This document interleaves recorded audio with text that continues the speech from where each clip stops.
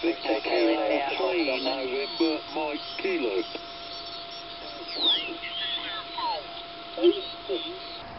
Last night I got home and found this parcel at my doorstep. In it was a QRP rig, the OzQRP MDT, 7 MHz double sideband QRP transceiver. The kit is from the same stable as the MST series, which I reviewed a couple of years ago. The MST was an SSB transceiver controlled by a DDS VFO. It was also quite large and as a short form kit required you to hunt around for various parts to complete it. That made it more suitable to the advanced kit constructor. To cater for a beginner with less experience, OzQRP has brought out the MDT. It's a complete kit. All items, including the box, are supplied. And being double sideband, it's a lot simpler. Instead of a DDS VFO, it's controlled by a ceramic resonator that allows it to cover about 80 kHz of the band. Also, it's a lot smaller, which could make it more suitable for backpack portable operating. Power output of the MDT is about 2 watts. If you think that's too low, we'll give the radio an on-air test later in the video. The MDT is an intermediate level kit I still wouldn't recommend it as a first kit, but if you've built a couple of simple kits, like those Pixie QRP rigs, then you can tackle the MDT with confidence. This video is purely an operator review. I didn't build this kit. OzQRP sent it to me already built up, so I can't comment on how it went together. However, I can comment on its circuitry and how it works, as you'll hear later in the video shed last night out on 80 metres on the bottle shop net there for about an hour. So I went inside, I just couldn't sit here any longer, it was that cold. I think it was around about 8 degrees. Having a look inside the MDT, the microphone socket, tuning control, volume control, headphone socket and LED TX indicator, antenna socket and power connection on the back. This is the ceramic resonator, the Varactor diode, and the ceramic resonator oscillator, covering a VXO tuning range around 7.1 MHz. Here's the balance modulator. You can see the four diodes and the balance potentiometer. The receive audio stages. Here's the audio preamp and audio filter, and then the LM386 audio amplifier these two transistors are the microphone amplifier, while this transistor here is the BD139 driver. That feeds two BD139s, which is the RF final amplifier. This is the transmit receive relay, and here is the low pass filter, which suppresses the harmonics. That's pretty much all there is to it. A basic double sideband direct conversion transceiver with no frequency conversions apart from audio to the transmitted frequency. The circuit board is good quality with through plated holes and all the components marked on the board. Because both the controls and the sockets are mounted on the main circuit board, there's very little extra wiring once you've populated the board. The exception are the connections to the microphone socket. Here, the twisted wires, and it seems to work okay but if you've got it, I would suggest using shielded audio lead for the microphone connections. These two pins near the ceramic resonator and the Varactor diode are shorted if you want to cover the lower frequency range from 7050 to 7110 or for 7090 to 7130 you leave them open. They're just behind the front panel so if you wanted to you could add a switch to allow selection without opening up the rig. One thing I would suggest, if there's ever a Mark II version of this rig, is to have the tuning control a little bit to the right to allow a little bit more room on the panel for that switch without it getting in the way. A size comparison with the Yaesu FT817. The front panel is a similar size, except the MDT is slightly higher. The major difference is the depth, with the MDT being just over half the depth of the 817. A handy item to buy if you do go portable QRP and every gram is important are these portable scales. You can get them for around $10 from eBay. With the hook, you can place the item you weigh in the bag and get a reasonably accurate measurement. This is the FT817 without internal batteries, which is around 900 grams. In contrast, the MDT is around four times lighter, which could make a decisive difference when operating portable. Just testing the selectivity of the Beach 40 what you see here is a mobile phone app called Frequency, which is basically an audio spectrum analyzer. There's a convenient carrier, which is helpful.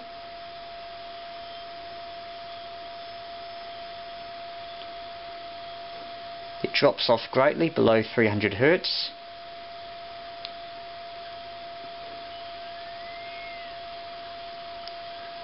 There's a bit of a drop off in the middle of the audio range. Around 1.5 kilohertz which isn't so good. Then there's a peak. And the drop off is above 5 kilohertz which is a little bit broad.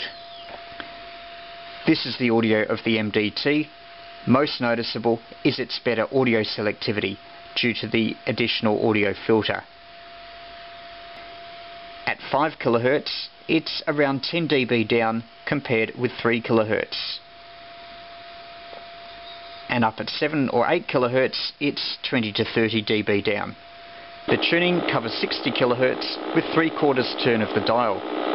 That will make it a bit more fiddly than a commercial rig, but with a bit of practice, you'll soon master it. So he it when I picked up that this piece was missing. Um, he gave us a piece of tube, which is a long piece of tube, uh, which just needs to be cut to length. So. 40 metres, VK2, Sugar Radio, Google 1 calling. I just wonder, anyone else would like to join us? This is VK3 RAN standby. VK3ZD. Another time, remind me about uh, yeah. Uh, I, um, I, I was uh, very I've been given a couple of really old FT200 Yaesus. Need a lot of work, but I got one of them going. At 5 by 1, are you about a 5 by 3, 53 to Wedderburn over? Reverse sideband on um, 7 and 20. This is the MDT with an external speaker. As you can hear, the volume is adequate and fills a small room. 30 components in it, mainly um, small electrolytic. CQ, CQ, CQ. CQ, CQ, CQ. You're on 7090 lower sideband now. Yeah, look, uh, VK3YE, VK3HRA, that's, uh, that's quite workable given the, uh, what we get up to over the, the dial 40 metres. That's fairly much a workable signal. Yeah, VK3YE, uh, VK3HRA. this is VK3 Lee Hotel. Uh, Paul in South Gippsland. Uh, yeah, sounds pretty good, Peter. No problem at all. You're up to uh, oh, 5 and 7, 5 and 8 and drifted down a little bit, but uh, yeah, great. No problem at all. thanks for the call. VK1EM, VK3HM. VK3 Yankee Echo. Ah, VK3 Yankee Echo, VK3YE. Uh, go ahead, Peter. Yeah, thanks, Sir Paul. Good afternoon to you. You are 5 by 7. 5 by 7, just running 2 watts double sideband. Over. Ah, Roger, Peter. Thanks for the 5 and 7. You are 5 and 5. 55.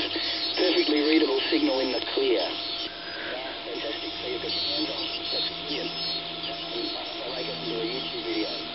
VK4 Foxtrot Echo, portable in the Mowbray National Park, VKFF 367. VK3 Yankee Echo. VK3YE.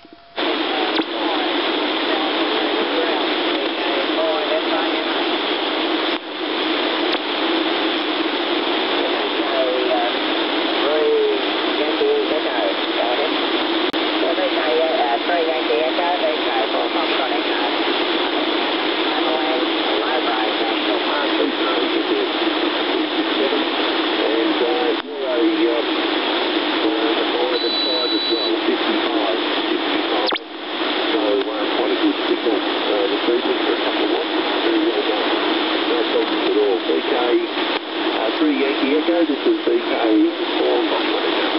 Getting